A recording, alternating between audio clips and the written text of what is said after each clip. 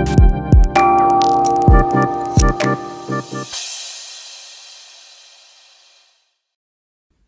guys, it's great to be back with you as we are right in the middle of a new series called This or That.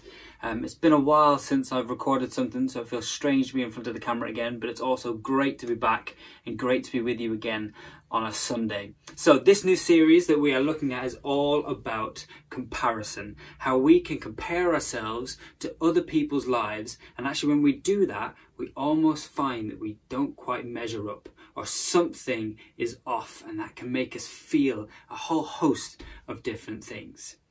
Um, it can make us feel angry, it can make us feel anxious, it can make us feel motivated, it can make us feel a load of different things, um, but not necessarily always great things because it's not really great to really compare ourselves to other people. And today, what I want us to look at is when we compare ourselves, when we are comparing to other things, other people, stuff that's going on, actually, one of the main emotions that can come up is a thing called jealousy. So this morning we're going to look a little bit at jealousy. Now, whenever I think of comparison, whenever I think of jealousy, the uh, the clip that always comes to mind is, and I really hope you've seen this film because it is top film, is Toy Story One, when Buzz Lightyear has landed for the first time on the top of Andy's bed and Woody goes up to see him, and suddenly he's there. He thinks he's a space ranger. He's got all the clips and the toys, and everyone is so wowed by him. And Woody, you can see him slowly but surely kind of starting to compare himself and get more and more jealous as it goes on. So, to kickstart this morning, I want us to check this clip out. Enjoy. Watch yourself. Miles, who goes there? Don't shoot! It's okay. Friends. Do you know these life forms? Yes. They're Andy's toys. All right, everyone, you're clear to come up. I am Buzz Lightyear. I come in peace. Oh, I'm so glad you're not a dinosaur. Why, thank you. Now, thank you all for your kind welcome. Say, what's that button do? I'll show you. Buzz Lightyear to the rescue! Oh. Hey, Woody's got something like that. His is a pull strength. Only it. Only it sounds like a car ran over it. Oh, yeah, but not like this one. This is a quality sound system. Probably all copper wiring, huh? So, uh, where you from? Singapore? Hong Kong? Well, no. Actually, I, I'm, I'm stationed up in the Gamma Quadrant of Sector 4 as a member of the elite Universe Protection Unit of the Space Ranger Corps. I protect the galaxy from the threat of invasion from the evil Emperor Zurg, sworn enemy of the Galactic Alliance. Oh, really? I'm from Playskool. And I'm from Mattel. Well, I'm not really from Mattel. I'm actually from a smaller company that was purchased in a leveraged buyout. Well, I don't You think they've never seen a new toy before? Well, sure. Look at him. He's got more gadgets on him than a Swiss Army knife. Ah, ah, ah, ah, please be careful. You don't want to be in the way when my laser goes off. Hey, a laser. How come you don't have a laser, Woody? It's not a laser. It's a, it's a little light bulb that blinks. What's with him? Laser envy. All right, that's enough. Look, we're all very impressed with Andy's new toy. Toy? T O Y. Toy. Excuse me, I, I think the word you're searching for is Space Ranger. The word I'm searching for, I can't say because there's preschool toys present. Getting kind of tense, aren't you? Oh, uh, Mr. Lightyear, uh, now I'm curious. What does a space ranger actually do? He's not a space ranger. He doesn't fight evil or, or shoot lasers or fly. Excuse me. Oh, impressive wingspan. Very good. Oh, what? What? These are plastic. He can't fly. They are a beryllium carbonic alloy, and I can fly. No, you can't. Yes, I can. You can't. Can. Can't, can't, can't. Tell you, I could fly around this room with my eyes closed. Okay, then, Mr. Lightbeer, prove it. All right, then I will. Stand back, everyone.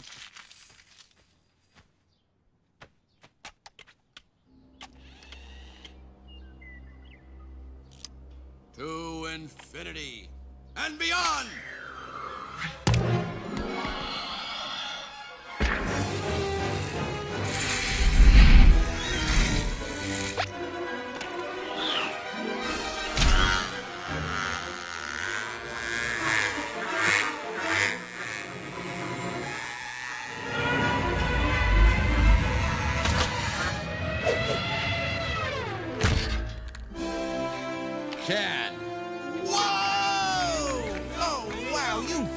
Magnificently. I found my moving buddy. Uh, thank you. Thank, thank you all. Thank you. That wasn't flying. That was falling with style. Man, the dolls must really go for you. Can you teach me that? Golly, Bob, howdy. Oh, shut up. You know, in a couple of days, everything will be just the way it was. They'll see. You ever felt a little bit like Woody did in that clip? Somebody ever come along or something ever come along that's kind of thrown you off a little bit? You find yourself suddenly comparing yourself to them, and deep down inside, you can feel what can be described, as Shakespeare said, as being the green monster starting to bubble up. That green monster being jealousy. Where you've compared yourself and you haven't quite measured up to their standards, and you start to feel jealous. I know I have. I know I definitely have. I know there's been a few times in a training pitch of football I felt jealous that somebody else was better than me and I've definitely gone in harder in a tackle. Probably not the best way to deal with it. But we've probably all been in that situation. Ever had a friend who suddenly got the best new phone? Or a brand new pair of, of shoes? Or clothes? Or they go on really nice holidays? Or they just seem to have that extra thing that, that you really want. So you start to compare yourself you start to want it. And jealousy can can can bubble up inside us and, and kind of almost start to, to choke us a little bit and make us feel a whole host of different things. It can make you feel anxious.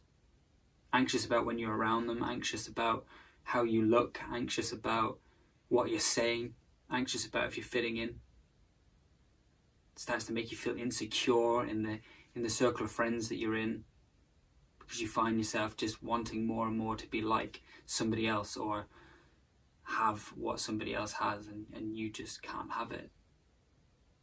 Maybe that then starts to bubble up an anger inside you.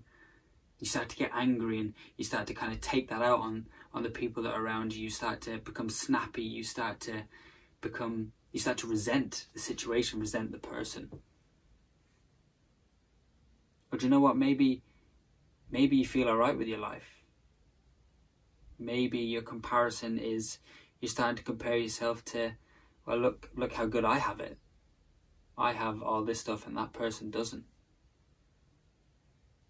The pendulum can swing the other way and that can almost be just as unhealthy. It's actually starting to compare yourself in a different way. Jealousy can take hold of us in so many different forms. And it can kind of sneak up on us a little bit before we know it, we find ourselves acting in a way and ultimately impacting those around us. It's not just something that sneaks up and impacts you. It starts to have an impact on the people that we hang out with, impact on our friends, on our family, because we start to change. Our actions start to change. Maybe you start to, to say things about people behind their back. Maybe becoming snappy. Maybe you're you start to withdraw from situations, from friendship groups, from from times with your family because you're feeling insecure and you just that green monster, that jealousy is just slowly choking the life out of you. People around you notice it, family notice it, you notice it. it doesn't just impact you. So how do we live a life knowing that that this jealousy is about? How do we live a life knowing and in a way of being able to control that jealousy. Control ourselves in terms of comparing ourselves to other people. That's what I want to turn to the Bible. I want to look at a story in the Old Testament um, about two guys. You probably will have heard of one of these guys. His name is David. He was an absolute legend. You might know him from such stories as killing Goliath. Um, great story, check it out. Um, but we're gonna we're gonna have a look at this moment where a battle had just been won. So David had just won, beaten Goliath, and, and won this battle for Saul, for Saul's army. Saul was the king at the time. Um, so we pick up this story, and they've kind of come back into town, and Saul has thrown this celebration to be like, "This is amazing! Check this out! We won the battle. Let's celebrate with these guys." But Saul ended up not being too happy because actually the way that they started celebrating and the songs that they started to sing celebrated David just as much as Saul. So we're going to pick the story up here. It's in 1 Samuel. Um, let's check it out. This made Saul very angry. What's this? he said. They credit David with ten thousands and me with only thousands. Next, they'll be making him their king. So from that time on, Saul kept a jealous eye on David. Did you see what happened there? Jealousy started to change the way that Saul viewed and interacted with David. It kind of went from this this sort of friendship and this kind of acknowledgement that was okay with each other. Saul was okay with David. Suddenly that jealousy kicked in and Saul's interaction with him changed. So much so that Saul even tried to kill David. Not once, not twice, but multiple times.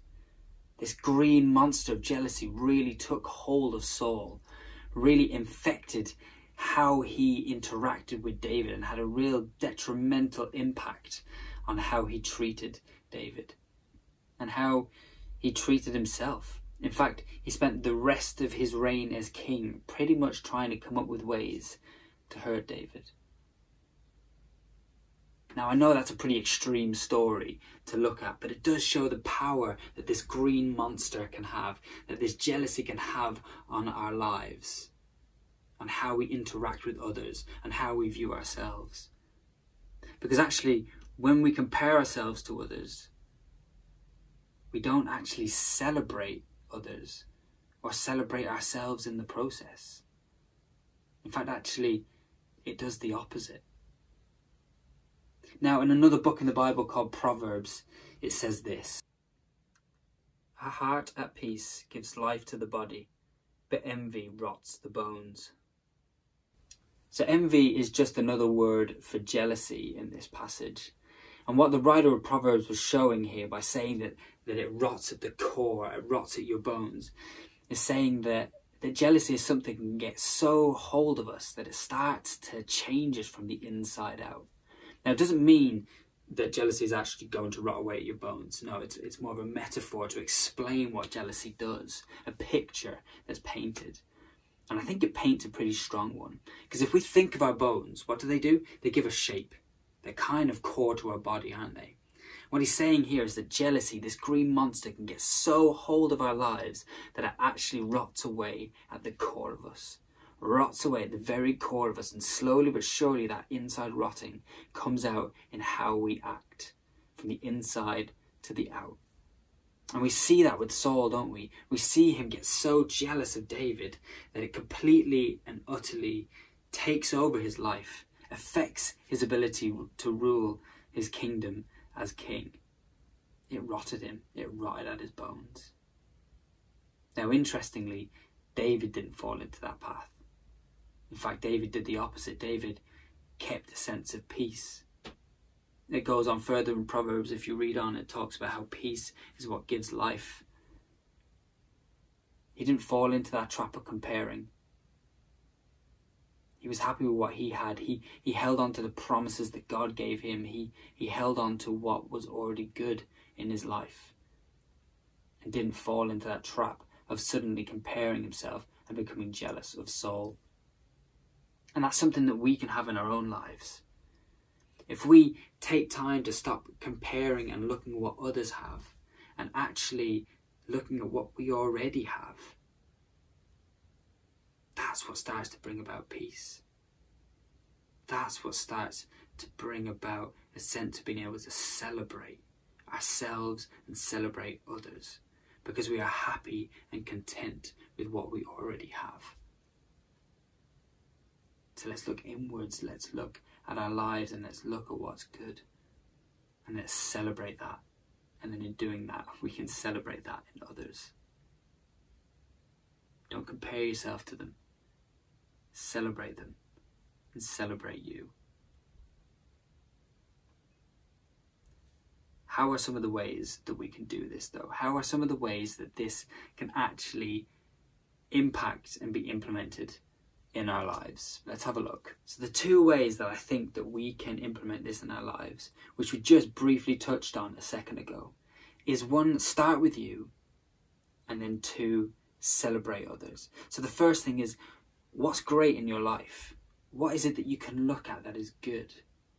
Maybe it's a, a song that you like. Maybe it's as simply as you enjoy walking. Maybe it's maybe it's the, the love of a sport that you play. Celebrate that. Enjoy that. Tell people about the things that you love, the things that are good to you, the things that bring you joy. Maybe it's sitting and reading a great book. Maybe it's being out with your family. Celebrate those moments. Because when we look at those and we look at what is good in our lives and what brings us joy, that starts to slowly bring us towards peace. And then, secondly, celebrate others. Now, this isn't easy. This isn't something that's going to be a sudden switch that you can do. And especially because I'm going to challenge you to celebrate the person that you are most jealous of. Maybe it's saying, Oh, that's a really nice phone that you got. Oh, you, you're great um, at that sport. or you're, you're such a great singer, or whatever it is that's, that's grinding you about them or about a situation. Celebrate them. Celebrate them. Don't let jealousy have the power. Celebrate them so that then there can be more peace in that situation. And I know it's not going to be easy, and I know I feel like it's it's it's easy for me to sit here and speak to this camera and say, yeah, you know, go out, you're not feeling jealous, just celebrate them. But in order to move to that peace, sometimes we've got to do some stuff that's difficult. We've got to put ourselves out there. We've got to say, do you know what? I don't want this green monster to take over my life. I want to be free. I want to be peaceful. I want to I want to be like David. I want to I want to celebrate what is good in my life so I can move out of a place of comparison and into a place of being able to celebrate myself and celebrate others. Because Jesus sees you as unique. Jesus sees you as gifted. Jesus sees you as someone with such good in their lives, such joy in their lives. Find those things. Pray about it. Ask Jesus to show it in your life. And then ask Jesus ways that, that you can then celebrate that in other people. So that you can break the chains that the green monster of jealousy can have on our lives. So this week, let's stop comparing ourselves. And let's celebrate ourselves and those around us. Have a great week, guys. Praying for you as always, and hopefully I'll get to see you all soon. Have a good one. Bye bye.